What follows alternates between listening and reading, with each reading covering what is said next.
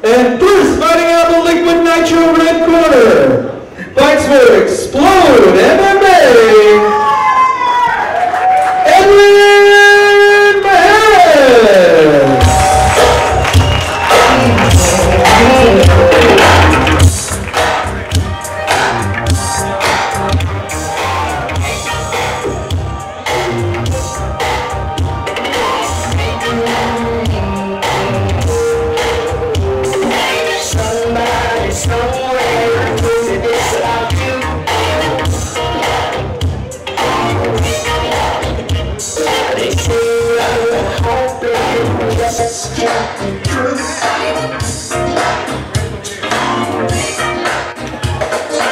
And his opponent, fighting out the Randy Jones All-American Blue Corner, fights for Team Diamond,